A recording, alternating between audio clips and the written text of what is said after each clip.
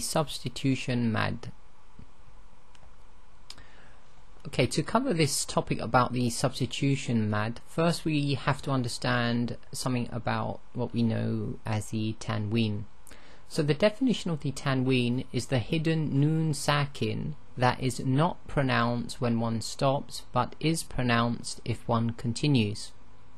So what do we mean by this? If we have a look at the end of this sentence, we have the dal with the um, two kasras underneath. Now normally people call the two kasras, the two dhammas, the two fathas, the uh, tanween, but really a tanween is the hidden nun sakin which is represented by an extra fatha, an extra dhamma or an extra kasra. So here where we have the two kasras, the extra kasra, the second one, indicates there is a hidden nun sakin there.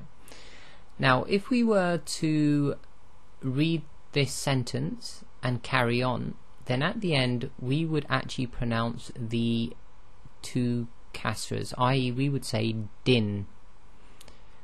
Now, if we were to stop, we would not say the din, we would just stop on sad. Yeah, so we would say, if we were reading this and we were going to stop on the center sentence, we would say, fi jidiha habalum mim masad. Okay, and we stop and there's a qalqala on that last dal. But essentially, the um, the noon sakin is not pronounced. The dal is actually um, recited as um, sakin. Now, with the kasra tain, and in this next sentence we've got the uh, dhamma tain. Now, these two both operate exactly the same. If you read on, you pronounce the kasratain or the dhammatain, but if you stop, the last letter becomes sakin. So in the first one, we, if we stop, we'll say uh, masad, and in the second sentence, we would say la shadid. Okay, so both cases, we do a derived sukun on the last letter.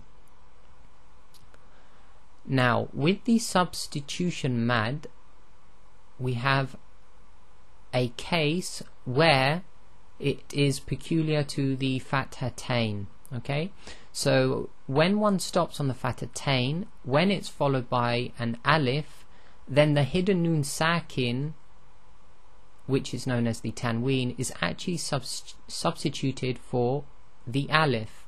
So let's take an example of this. So here we have a sentence which ends with a um, and it's normally accompanied with an alif. So we have the ha with a fathatain and an alif after it.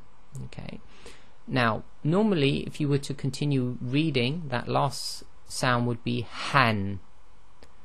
Now, when we read this though, we stop.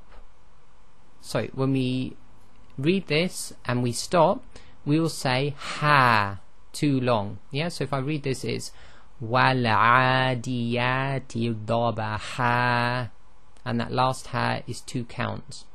Now, what actually happened there is this.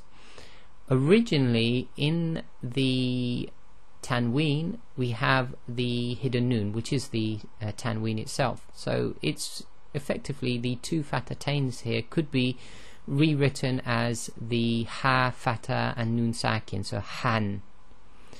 Now, when we stop, we implement what is known as the substitution madd. So this is what we do instead. We we effectively pronounce this as ha. So that hidden nun sakin has been replaced by the alif that you actually see um, which accompanies the fathatain. So this is why it's called the substitution madd because the nun sakin is substituted by the alif if we choose to stop. Okay, and that's um, effectively the substitution madd. So here's another example. So we've got fal muriyati qadaha same thing again. Instead of han, we say ha, and it's always too long. And that brings us to the end of the substitution madd.